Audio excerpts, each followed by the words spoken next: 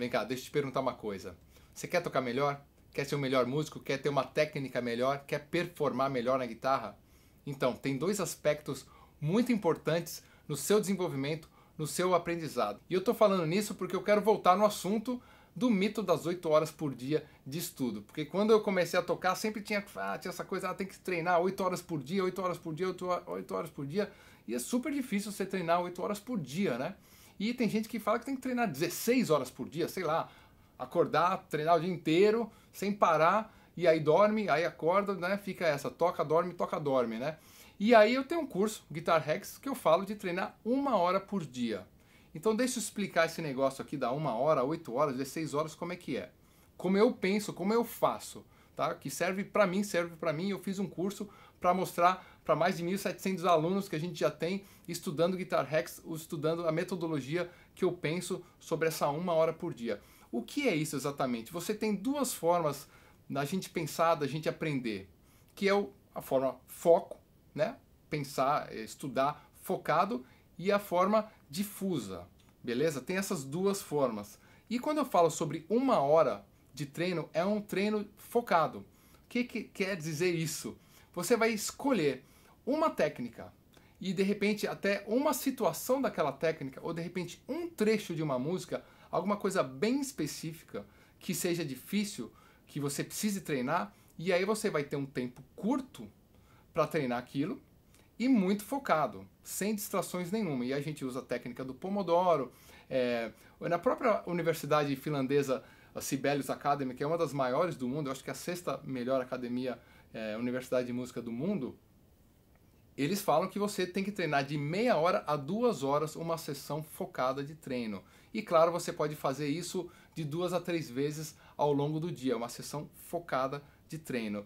E essa sessão deve ser para corrigir erro ou para tocar alguma coisa difícil, é assim que eu faço, ela deve ser constante diária, certo? Numa técnica específica, algum ponto específico, tem que ser cíclico, né? Você tem que ser variando esse, esse estudo ao longo de um período de tempo e tem que ser constante. Não adianta fazer isso um dia, depois não fazer mais, depois volta lá para frente, semana seguinte, não. Tem que ser todos os dias, num pelo menos um mês para você sentir uma grande diferença daquela técnica ou daquele fraseado que você está estudando especificamente.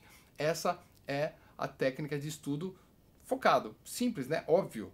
Aí você tem a técnica difusa, que é quando você tem aquela parte mais lúdica, que é onde aparece o Eureka do, do Arquimedes, que saiu da banheira lá, estava tomando banho e de repente teve o Eureka, saiu correndo lá nas ruas de Siracusa e tantas outras situações que a gente ouve, ah, eu compus a música quando eu estava andando, quando eu estava no banho, quando eu estava indo dormir, eu tive aquela super ideia, eu consegui resolver o problema tal, porque isso é o lado difuso do aprendizado que o nosso cérebro funciona dessa forma. Né? Hoje em dia tem até um, um, curso muito legal da Universidade de San Diego, na Califórnia, que mostra muito bem isso sobre o estudo focado e o estudo difuso, certo? E tem outras histórias interessantes, por exemplo, do Salvador Dali, que ele, ele sentava na poltrona com uma chave na mão para pensar, só para relaxar, pensar, e quando ele caísse no sono, a chave né, ficava mais mole a mão dele, a chave cairia no chão e ele acordaria, né? Então, assim, para você poder ter esse, essa parte do devaneio mesmo e você ser mais criativo. Então, essa parte da criatividade, do improviso, de você compor, de você, sei lá, essa parte de estudar harmonia, estudar outras coisas, isso não é a parte mecânica da técnica da guitarra para evoluir num ponto específico ou corrigir erros técnicos, né? Colocar a mão na forma, como eu falo para meus alunos. Né? É isso, é uma grande diferença, são duas formas de estudar. E obviamente a gente tem que viver, respirar música o dia inteiro. Acordou, tá ouvindo música, tá vendo vídeo. Aí se você tiver essa uma hora de treino específico, como eu passo no curso e eu divido essa uma hora bem detalhadamente, assim, de 5 em 5 minutos, o que, é que você deve fazer, porque a única forma de você focar é você deixar em, né, em fragmentos essa uma hora, e aí você consegue sim sentir essa evolução. E aí você ao longo do dia você pode voltar e fazer outra hora de outra técnica, por exemplo, ou deixar o resto do dia, o resto das suas horas de treino para treinar essa parte mais difusa, que seria improvisação, que seria é, outros assuntos da música e até um tempo que você precisa para preparar o seu estudo, né, essa programação que você tem que fazer desse estudo de uma hora diária. E aí também tem aquela questão assim, bom, mas será que um profissional aqui, que você é profissional, você vai tocar uma hora de guitarra por dia, que história é essa? Isso aí é, é viagem, né? Você tá balela. Mas deixa eu te contar, por exemplo, como é um dia, um meu dia, assim, de um dia de show, né? Profissional, eu que toco guitarra, vou tocar um show, por exemplo. Mas, vamos imaginar aí que seja, vou fazer um show em Belo Horizonte. Então você vai lá, tá em São Paulo, vai para Belo Horizonte. Aí você vai pegar um voo, né?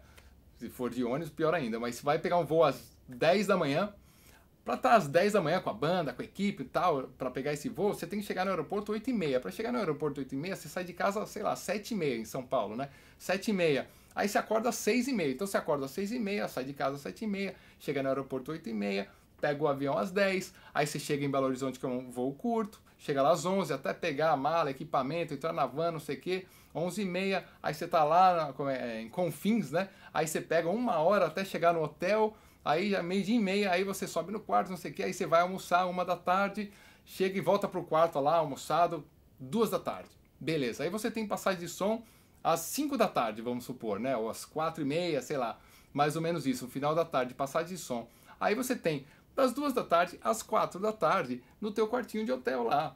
É isso. Você tem duas horas para fazer tudo que você tem que fazer no dia. E aí você pode sim pegar aquela uma hora regrada e falar, opa, pera lá, no show à noite eu preciso treinar essas partes aqui que não, não tá tão legal, que eu reparei e tal, que no outro show não tava tão legal. Então aí você pega uma hora regrado ali, né, o Guitar Hacks, o workout ali, e faz uma hora e corrige os pontos. Aí você vai lá, passa o som, aí você passa o som, você volta pro hotel, você vai jantar, já vai ser o quê? Sete da noite, o teu show é às nove, entendeu? Aí você já tem que ir pro show. Isso imaginando que você não vai ter um meet and greet, vai ter entrevista, vai ter uma sessão de autógrafo antes do show, sei lá, outras atividades que às vezes não te deixam nem fazer essa uma hora de treino no dia.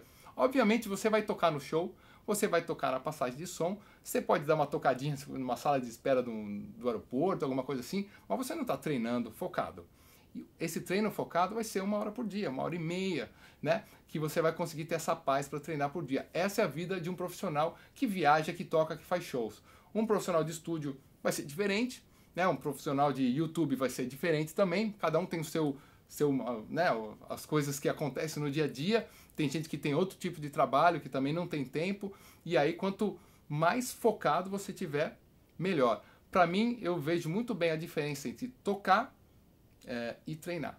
Então, treinar é uma coisa, é esse foco, e tocar, improvisar, colocar playback, tocar com amigo, é, ensaiar com banda, isso é um outro momento, mas eu tento ser bem é, Caxias mesmo, assim, de fazer essa uma hora diária de alguma coisa que eu preciso melhorar. Agora, por exemplo, eu estou aqui, ó, brincando com essa guitarra de oito cordas aqui para ver se eu saio do lugar eu estou treinando, então meia hora, uma hora por dia da Ibanez aqui de oito cordas. É isso, se você tiver interessado em conhecer, participar do Guitar Hacks Workout, tem mais 1.700 alunos lá curtindo essa minha metodologia que eu uso para mim e posso aqui abrir para você e no curso você vai ver eu treinando e mostrando como é que eu faço, beleza? Vou deixar o link aqui do curso para você conhecer e é isso aí. Se você discordar, que acha que tem que treinar 8 horas, é isso aí, tudo que eu tô falando é balela, tá tudo certo também, cada um tem o seu estilo de treinar. Eu faço o que funcionou para mim e estou mostrando para as pessoas que querem também tocar meio dessa parte mais técnica que eu gosto muito da guitarra. É isso aí, grande abraço do Kiko, valeu.